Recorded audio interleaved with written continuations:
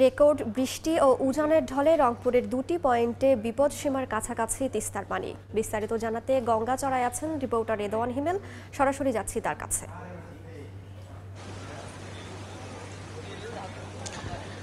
এবছর কিছুটা দেরি, দেরিতে হলেও কিন্তু তিস্তার যে পানি, সেটা কিন্তু আবারও বাড়তে শুরু করেছে। তিস্তার যে কাউনিয়া ব্যারেজ পয়েন্ট রয়েছে, সেটা কিন্তু বিপদ সীমার ছাব্বিশ সেন্টিমিটার এবং ডালিয়ার যে ব্যারেজ পয়েন্ট রয়েছে, সেটা কিন্তু বিপদ সীমার যে পনেরো সেন্টিমিটার নিচ দিয়ে এই যে তিস্তার পানি, সেটা কিন্তু প্রবাহিত রয়েছে। আমি কিন্তু এই মুহূর্তে রয়েছে রংপুরের যে গঙ্গাচড়া উপজেলা, সেখানে আপনাদেরকে একটু জানাতে চাই। প্রথমে যে দুদিনের যে বৃষ্টিপাত, সেটার বৃষ্টিপাত এবং যে উজানের পাহাড়ি ঢল, সেই পাহাড়ি ঢলের কারণেই কিন্তু এই যে তিস্তার যে পানি, সেটা কিন্তু যত সময় যাচ্ছে তত কিন্তু আসলে এই পানিটা বেড়েই চলছে।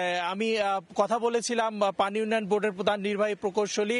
তিনি আমাকে যেমনটি জানিয়েছেন যে আসলে যে বৃষ্টিপাত, দুই দিনের টানা বৃষ্টিপাত এবং উজানের যে পাহাড়ি ঢল, এই পাহাড়ি ঢলের কারণে কিন্তু যে তিস্তার পানি, সেটা কিন্তু বাড়ছে। এর ফলেই তারা যেমনটি বলছেন যে গুরুত্বপূর্ণ যেই জায়গাগুলো রয়েছে, ঝুঁকিপূর্ণ যেই জায়গাগুলো রয়েছে, সেগুলো তারা শনাক্ত করেছেন এবং পানি উন্নয়ন বোর্ডের যারা কর্মরতার কর্মকর্তাবৃন্দ রয়েছেন, তাদেরও কিন্তু ছুটি বাতিল করা হয়েছে। তারা এমন তথ্য কিন্তু তারা আমাদেরকে জানিয়েছেন এবং ঝুঁকিপূর্ণ যে জায়গাগুলো রয়েছে, সেগুলোতে যাতে কোনো ধরনের ক্ষতির সম্মুখীন না হয়, সেগুলোতে কিন্তু তারা সজাগ দৃষ্টি রয়েছেন যাতে করে জিও ব্যাগ ফেলে সেগুলো যাতে নিয়ন্ত্রণ করা যায়, সেই তথ্যও কিন্তু তারা আমাদেরকে জানিয়েছেন।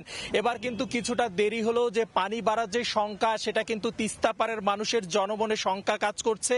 আবারও যদি এই পানি বৃদ্ধি হয়, তাহলে কিন্তু এই যে তিস্তা পাড়ের যে নিম্ন অঞ্চল চরাঞ্চলগুলো রয়েছে, সেগুলো কিন্তু প্লাবিত হবে এবং প্লাবিত হওয়ার পরে পরে মানুষের কিন্তু অনেক জমি, গবাদি পশু থেকে শুরু করে সব ধরনের যত মানুষের আসলে ক্ষয়ক্ষতি, সেগুলো কিন্তু কথা, যে আতঙ্ক, সেই আতঙ্কের কথা কিন্তু তারা আমাদের জানিয়েছেন। আমরা একটু লালমনিরহাটের কথা বলি। সেই লালমনিরহাটে আমরা দেখেছি যে বিভিন্ন ঘর বাড়িতে কিন্তু পানি ঢুকে পড়েছে এবং তারা তাদের গবাদি পশু এবং স্কুলের আশেপাশেও কিন্তু পানি প্রবেশ করতে শুরু করেছে। তো জনমনে কিছুটা হলেও কিন্তু এই তিস্তার পানি বাড়ায় কিছুটা শঙ্কা কাজ করছে।